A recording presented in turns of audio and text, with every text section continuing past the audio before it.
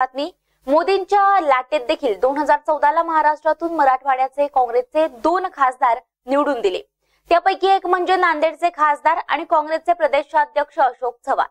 नांदेडचा सातबारा आपल्याच नावावर आहे असं नेहमी सांगणाऱ्या अशोक चव्हाण यांची निवडणुकीच्या तोंडावर भाषा बदलली आहे. नांदेड माझी जहागिरी नाही असं त्यांनी म्हटलंय.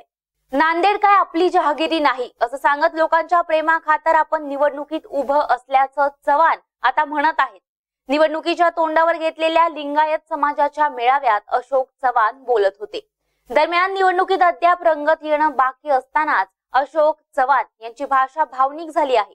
दोन हजार चौदाला महाराष्ट्रात काँग्रेसचे फक्त दोन उमेदवार निवडून आले होते. त्यामध्ये हिंगोलीतून राजीव सातव आणि नांदेडमधून अशोक चव्हाण यांचा समावेश होता.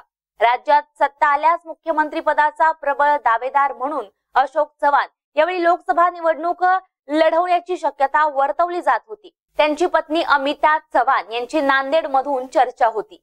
पण सूत्रांच्या माहितीनुसार काँग्रेस हायकमांडने आता अशोक चव्हाण यांना निवडणूक लढवण्याचे आदेश दिले आहेत. अशोक चव्हाण यांच्यावर प्रदेशाध्यक्ष या नात्याने राज्याची जबाबदारी आहे. शिवाय ते स्वतःच्याही प्रचाराला लागले आहे मुख्यमंत्री पदाच्या संभाव्य शक्यतांमुळे अशोक चव्हाण विधानसभा निवडणूक लढवू शकतात असं बोललं जात होतं. राज्यात जलसंघर्ष यात्रेच्या माध्यमातून काँग्रेसने अशोक चव्हाण यांना नेतृत्वाची जबाबदारी दिली होती.